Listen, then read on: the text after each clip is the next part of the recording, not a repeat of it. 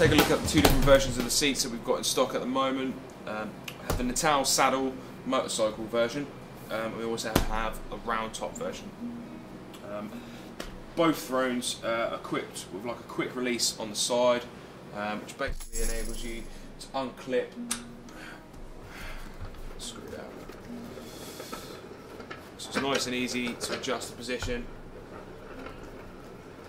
And when you're done, clipped, done.